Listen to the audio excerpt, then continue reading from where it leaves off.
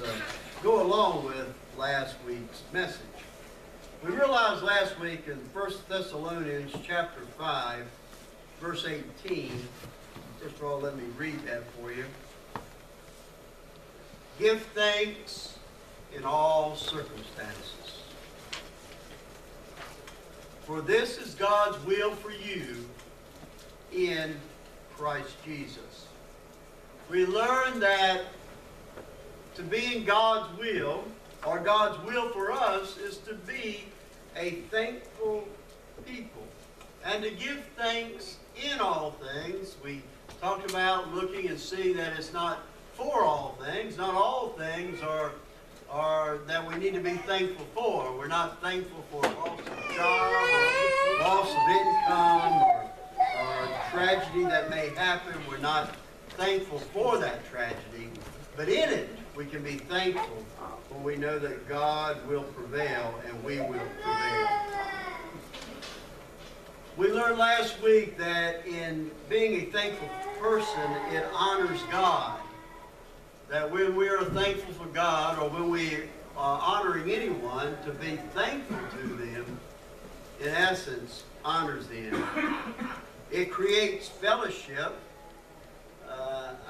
I mentioned some last week that enter any kind of relationship, if you will show that you're thankful to that individual, that relationship will grow. So it creates that fellowship between you and others, as well between you and God. It develops faith because to be thankful in all circumstances even when those circumstances are not good, it is based upon our faith that we know that God will prevail and God will see us through. So it does, in fact, develop faith. And it also serves others. What a great encouragement that we can be if we show thankfulness to other people. The Bible tells us, well, let's look at Philippians chapter 2, verses 14 and 15.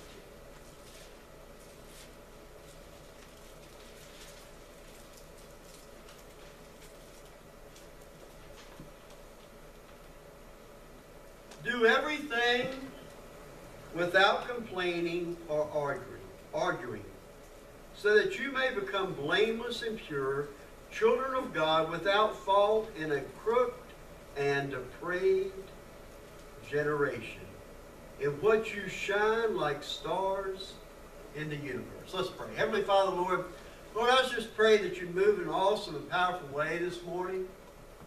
And Lord, I pray that as we understand what it means to be thankful and to be in your will, what an impact that has in our lives and in our family, in our homes, in our workplace, in, in the towns, the cities that we live in.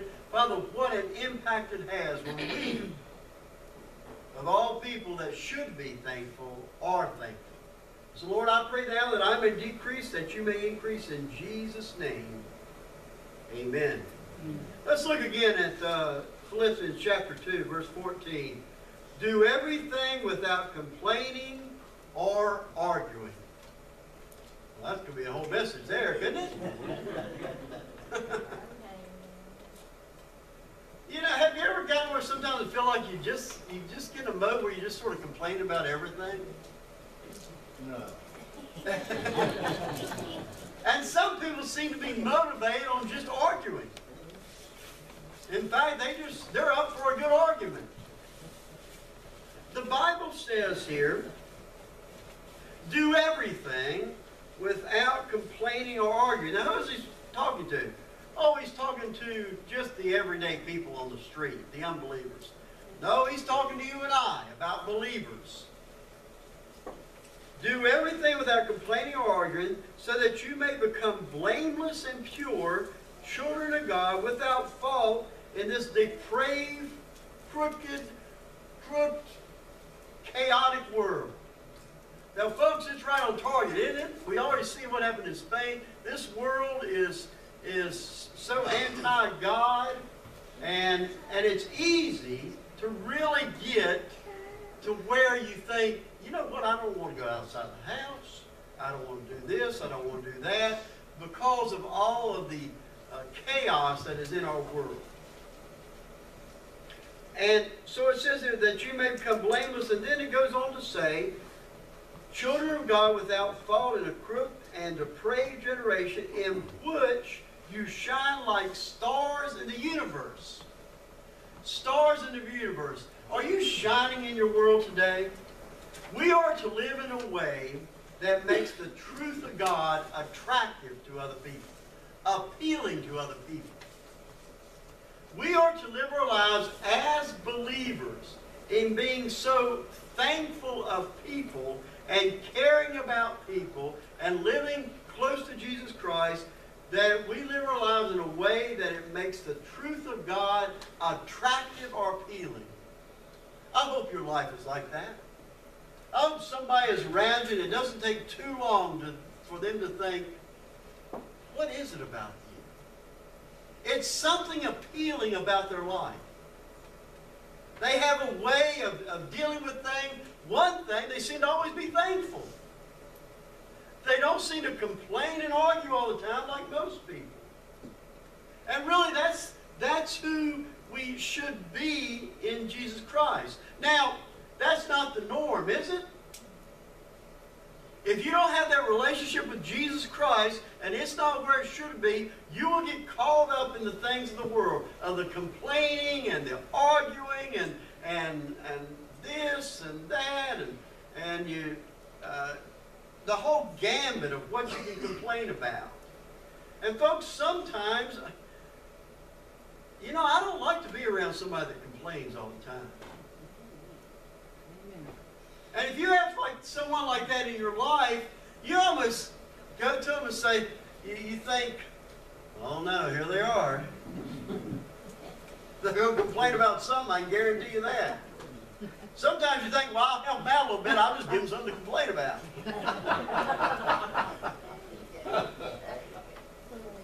But listen, my friends, as believers, now again, you can't decide, okay, that's what I'm going to do. I'm going to do that. I'm going to be thankful. I'm going to.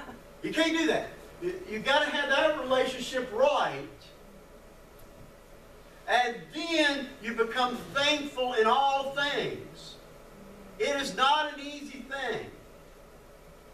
That verse is a difficult verse. To be thankful in all things.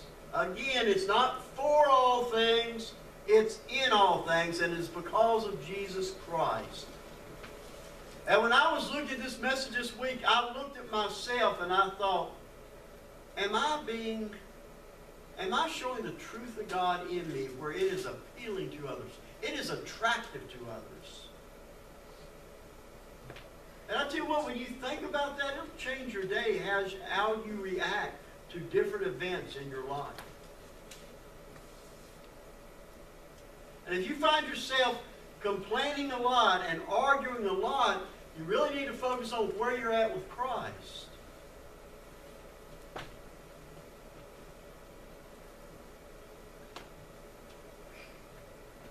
There was a survey done of under 30 years old and what their view were was on evangelicals. You hear that word evangelical. What's an evangelical? I don't know, but I think I got some ointment that can probably take care of it. it's someone who believes the good news. That is, you are evangelicals.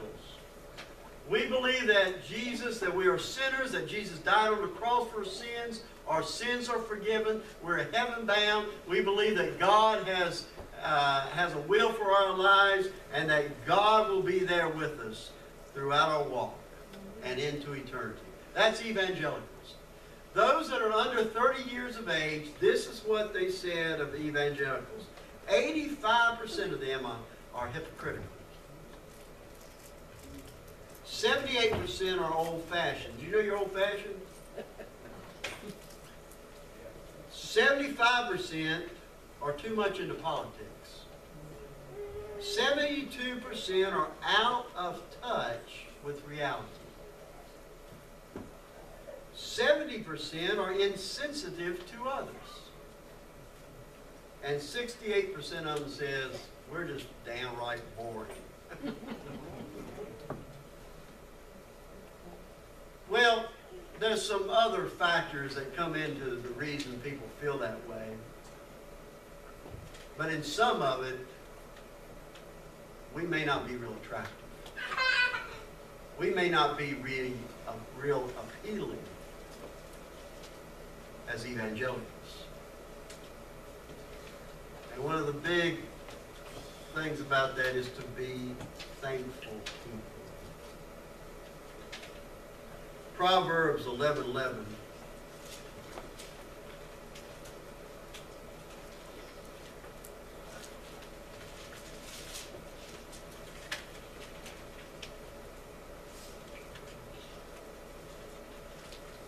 Through the blessings of the upright, that's you and I, a city is exalted. But by the mouth of the wicked, it is destroyed. I have put a little test for myself this holiday season. That I'm going to do a, not an underhanded thankfulness, a one-handed thankfulness. Five times a day, I'm going to let someone know I'm thankful for what they're doing.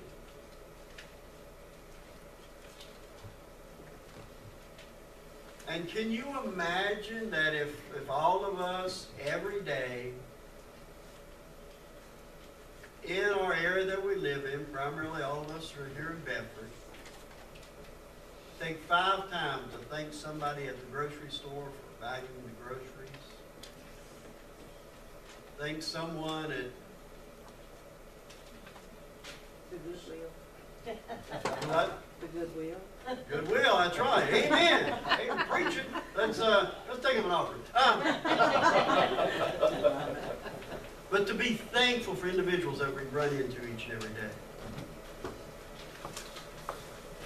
One thing, they may say, who are these people that's saying thank you for everything? I understand they're at that church over there. I don't know about that church, but, but to be thankful. One time we were having a revival at Silk Spring Baptist, and Charles Fuller was doing the revival. And he concluded one night with saying, I want you to, um, when you get through here, I want you to go up to somebody and say, I love you and I thank God for you. So at the conclusion of service, we were all hugging each other. I love you and I thank God for you. And he had said that over many of the revivals that he had done, the thing that people enjoy the most and remember most was saying, I love you and I thank God for you. You know, we should be a thankful folks. Not only for those around us, those that come in on the highways and byways of life, but for each other. I tell you what, I was blessed this week to be able to compose that letter that, that many of you get today. And again, as I, I mentioned my prayer, as I as I took time to to pause fully and pray for each and every individual. And my prayer was thankfulness, just for what they mean. And I, when I looked at it, I thought, you know what? And and I don't mean this wrong. I guess I mean it as I'm saying it. But anyway, you know, sometimes, unfortunately, at funeral homes, we tell the person that's deceased or tell others what that person meant to them, how thankful they you were for what they had done, how they done that. And, and you know, there's part of me, and I, I understand that, and I'm not trying to say anything bad about it, but there's part of me that said, did you ever tell them that?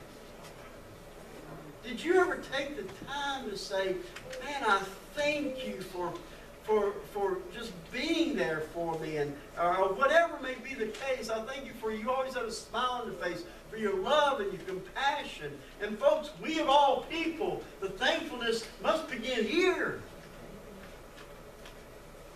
And taking the time before service and after service, and I think we are thankful. But let's give time to say thank you for what you mean. And, and like I said, when I when I was in those prayers, man, and you, you got to take this right. I know your family, so I hope you do take it right. I'll apologize ahead of time. And actually, it was Daniel's fault. But anyway, um, I thought, now, how in each envelope that I do, am I just going to say, okay, Lord, I'm just I'm thankful for them? Maybe. But you know, when I found myself just pausing for a moment and I actually saw your faces, it came pretty easy why I'm. And how each one blesses me. And how each one draws me closer to Jesus Christ. And man, I tell you what, I just, I had a little, you ever had a pity party? You can't get anybody to show up. there. I had a little praise party. And it was pretty awesome. We of all people should be thankful and appealing to others. Okay, there are four personal benefits from being thankful. Number one, it keeps us in God's will. We've already seen in 1 Thessalonians chapter 5, verse 18, it is God's will that we're thankful in all things. It is God's will that we're thankful people. So one of the things that always we hear, uh, I hear as a pastor, and many people say over and over, and you probably said yourself, I just want to know what God's will is for my life. I know that that peace and the contentment that I don't have or that, that comes into my life and seems to flow back out, I don't have it on a consistent basis. I just want to know what God's will is. It's not that I'm saying I'm not going to do it. I got guidelines, God. It's not that. I just want to know what it is. And in the Bible, God says, listen, this is the will. If you want to be in my will, you want to be in the center of my will, you be a thankful person. Number two, it makes me better, not bitter.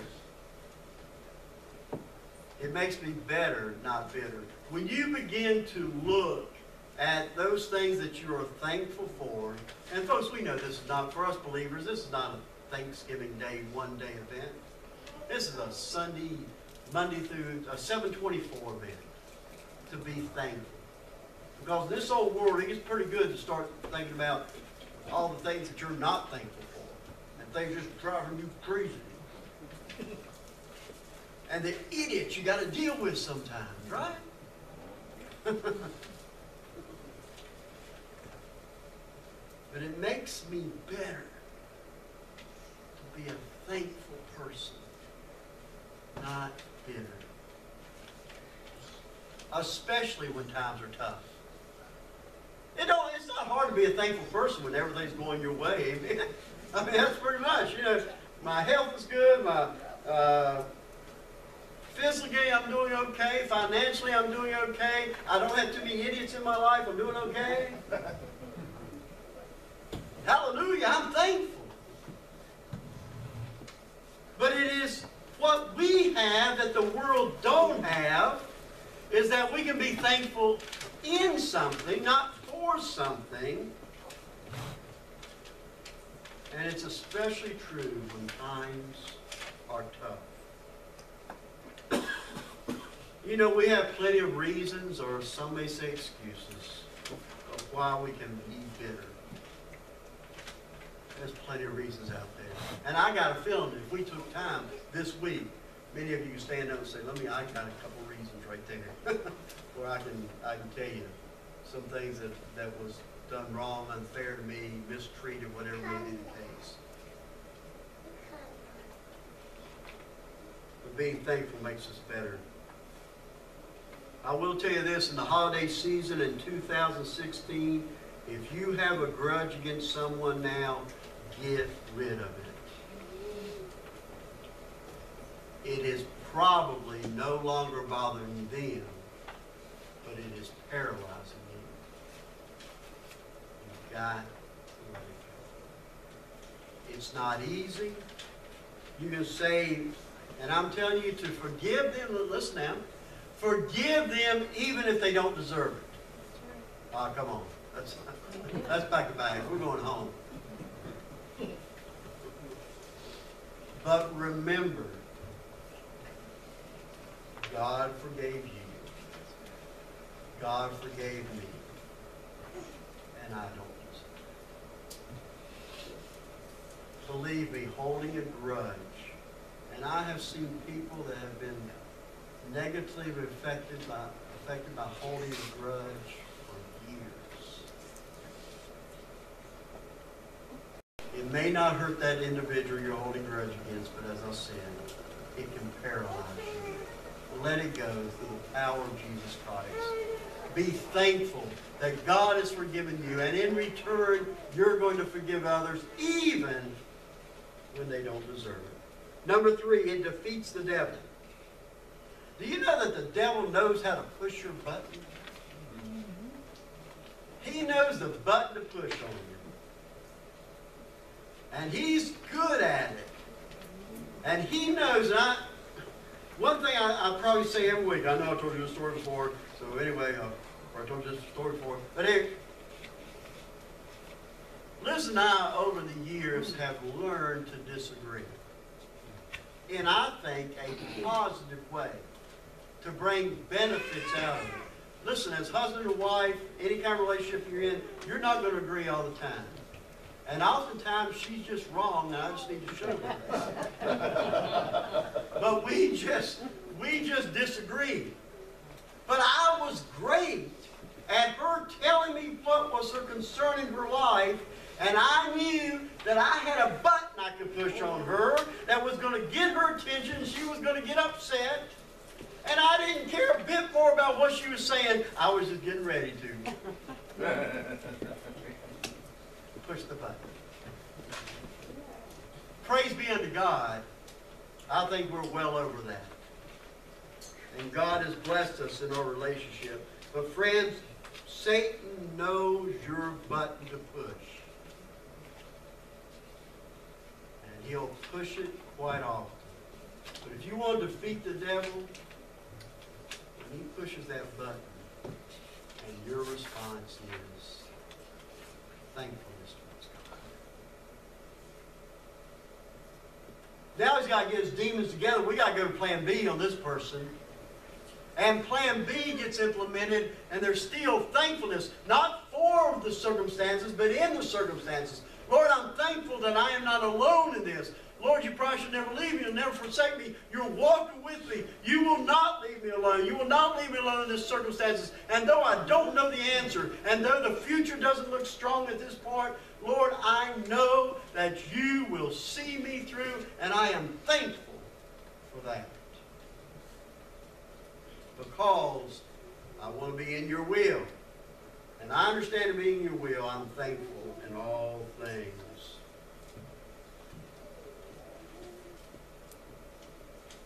Finally, it makes miracles happen. Gratitude is what happens when you thank God after an event has happened or after God has provided for you in some kind of circumstances. That's giving thankfulness. That's gratitude for that. But faith is thanking God in advance. Isn't that awesome? Thanking God in advance for victory that you're now praying about that you don't have a clue where the answer's coming from.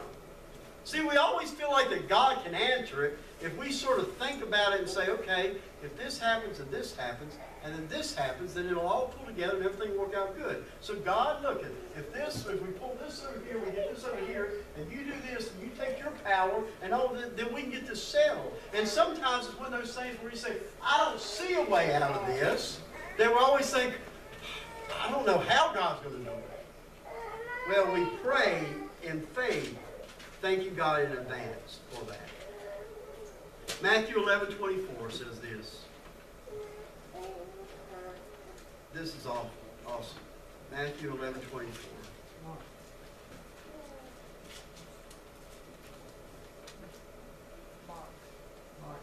Mark, okay. Thank you, I'll tell you what, when I looked at Matthew and Mark, I thought, boy, I'm going to have to wean this one. That's what I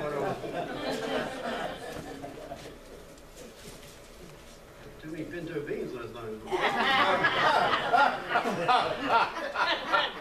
I tell you what, they're good, but they'll keep you going all night long. Maybe I should have shared that, but uh, Hallelujah. I'm thankful. I'm thankful I have a dog because I said, oh, Boomer.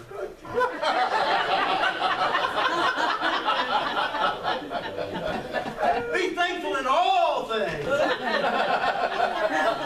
I'm sorry, that was wrong. Now I'm going to have to apologize. Therefore, I tell you, whatever you ask for in prayer, watch this now, believe that you have received it, and it will be yours. Now, I tell you what, what sometimes we have issues with that because we want to be in God's will, right? Ask for what you need, and it'll happen to you. Believe that it'll happen to you. And the answer to this, and one of the things that come in as part of it, is that Listen, if you don't pray in God's will, it's not going to take place. Well, what is God's will? To be thankful. We got the God's will part. As we're in God's will and thankful, our prayers will be guided by that which Jesus Christ desires for our hearts. So we're saying, I got to believe it to get it. In order to, I got to believe I got it in order to get it. Got it? Get it? I got to believe I got it in order to get it. It's praying for rain that morning when they're not calling for it and you grab your umbrella on the way out. We'll conclude with Philippians 4 6, one of the toughest verses in the Bible.